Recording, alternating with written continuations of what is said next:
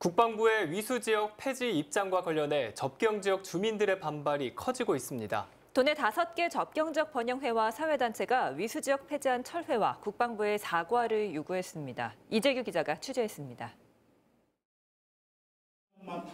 철원과 화천, 양구와 인제, 고성 등 도내 다섯 개 접경 지역 번영 회장이 한 자리에 모였습니다.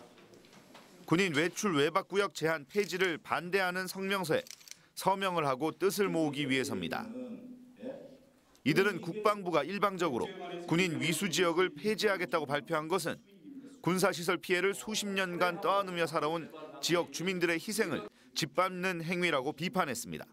특히 국토 균형 발전의 사각지대에 있던 접경 지역은 지난 60년간 이중삼중의 규제에 얽혀 있어 성장 동력도 이미 잃은 상태라고 말했습니다. 저희 인제군 같은 경우는 전체 면적의 세배가 규제 지역입니다. 인간이 살아갈 수 있는 땅이 아니에요. 근본적으로 사람이 살기 위해서는 경제 활동을 해야 되는데 이 규제 활동 때문에 규제 지역 때문에 경제 활동이 전혀 이루어지지 못하고 있는 거죠. 이들은 접경 지역 물가가 대도시보다도 비싸다는 일부 비판도 알고 있다며 지역별로 숙박비와 음식값, PC방 요금 등을 파악해 개선할 계획이라고 밝혔습니다.